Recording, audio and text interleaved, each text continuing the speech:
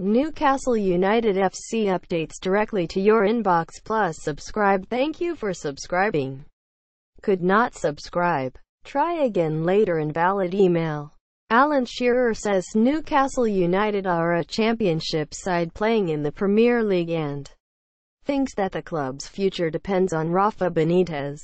All-time leading scorer Shearer has been vocal in recent weeks about the club's predicament and spoken in support of Benitez, who has overseen a poor run but has plenty of mitigation. And while the BBC pundit, who was working for 5 Live at the Manchester City match last night, admitted that the tactics were difficult to watch, he says that they have to be placed against the context of what is unfolding at St. James Park. It is relegation form, he said of United's recent run. The way Rafa set up and with the number of changes he made to the team I think he has one eye on. The weekend against Brighton. That's a game they cannot be beaten in. I think the fans realize what they have. They have a set of players who work hard. I don't think you can question their commitment but they're a championship side playing in the Premier League and I think the fans understand that. Rafa has dropped enough hints at the beginning of the season and during season that is the case. He desperately needs bodies to come in and have additions to this squad and if he doesn't, it's a relegation battle. I think the fans understand that. They won't be relegated on a performance like the Manchester City one, but they have to have a different mindset in the games against Brighton and Stoke. Like they did against West Ham at the weekend. They went there and played a very attacking side. On Wednesday they were very negative until the last 10 minutes, which is understandable when you consider what happens to teams who come out and play against Manchester City. I just think that he could have gone for it a little bit earlier.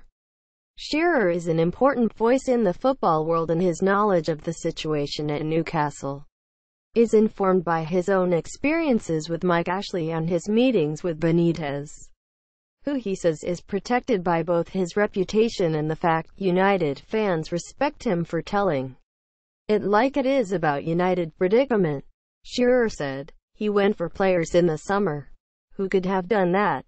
He went for Javier Hernandez and Tammy Abraham but they were pulled so with 10 days left of the window he had 5 million and goes for Joselu because he desperately needs a body.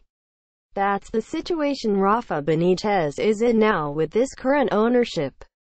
We all know this is a very, very difficult club to manage with the current ownership. We witnessed it many times over the 10 years he's been here. Rafa is the only guy who has come out and told it like it is. Other managers have been scared or didn't want to fear of losing their job. Another manager would have been under severe pressure not just from the media but from the fans. They would have been going mad here but we've heard tonight. The last minute of the game the fans are singing his name. They know what he can bring to this football club and they're hoping just like me that if or when the new owners come in that they back him, because they have got a top manager here. He's got a championship team and he's trying to guide them through the Premier League and Shearer says the ownership situation is also key, sharing his own theory about what the future he holds.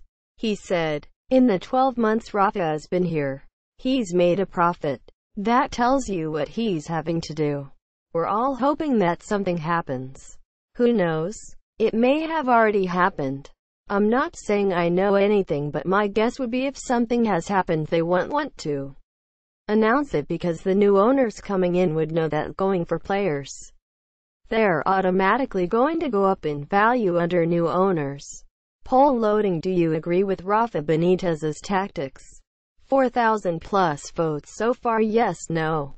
If Mike Ashley's here they know that he's a businessman.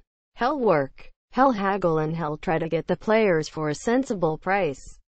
That's not me saying I know something. It's just me guessing. I hope that is the case.